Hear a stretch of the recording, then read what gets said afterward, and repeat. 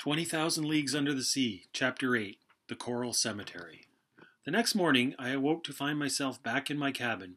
My door was unlocked, and I assumed I was no longer a prisoner, so I gathered up my scientific notes and went into the lounge to work on them.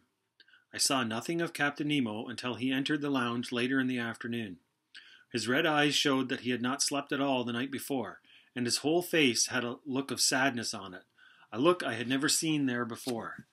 After pacing back and forth for several minutes, he came over to me and asked, Are you a doctor, Monsieur Aronnax?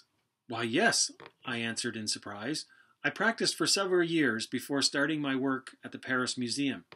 Well, then, would you mind treating one of my men? Certainly, I answered, and followed him to a cabin in the crew's quarters. There, stretched out on a bed, was a man of about forty, with a strong, rugged face. His head was wrapped in blood-stained bandages, I removed the bandages and examined the wound. It was horrible. The skull had been smashed by some hard instrument, and part of the brain was exposed. The blood had already clotted and turned to a dark red. The man's breathing was very slow. His pulse was weak, and his arms and legs were cold. I realized that death was near. There was nothing I could do for him except to put a fresh bandage on his head but I couldn't help but wonder if there was some connection between this wounded crewman and the mysterious events of the night before. When I asked Captain Nemo how the man was wounded, he answered me very sharply, That is no business of yours. I am only concerned with his chances. He'll be dead in two hours, I said. Captain Nemo clenched his fists, and his eyes filled with tears. How strange to see this man cry. I never believed he could. I didn't see Captain Nemo again until the next morning. I had started to ask him about the dying man when he broke in, inviting the three of us to go on another underwater excursion with him. Ned and Conseil were so eager to say yes that I had no further chance to speak to the captain. Within half an hour, we were all in our diving suits, stepping out on the ocean floor. Captain Nemo led the way, and a dozen crew members followed behind us. A gentle slope led us 90 feet below the surface, where I got my first glimpse of the coral kingdom. Coral is the skeleton of a tiny jelly-like sea animal called a polyp. These polyps live in colonies, and their skeletons slowly build one upon the other, sometimes forming reefs and islands. Here, the coral formed a stone forest beneath the sea.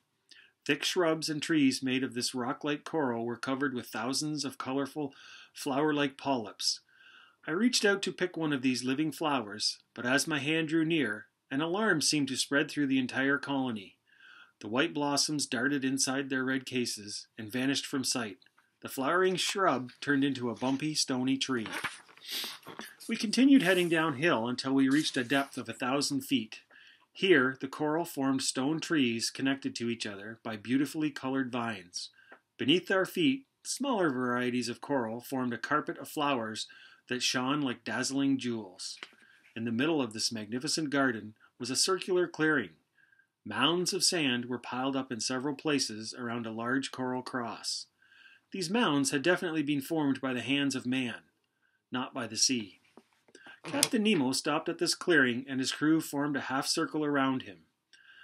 At a sign from their captain, two crewmen stepped forward and began digging a long hole. When they were finished, four other men approached the hole carrying a long white bundle on their shoulders. Suddenly, I understood. Captain Nemo and his men had come to bury their shipmate in their own private cemetery on the ocean floor. As soon as the body was placed in its grave and covered over, Captain Nemo and his men knelt down to pray.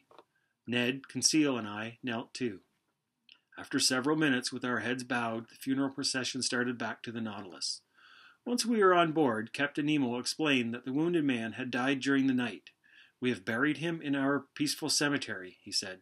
The coral will now seal his grave forever.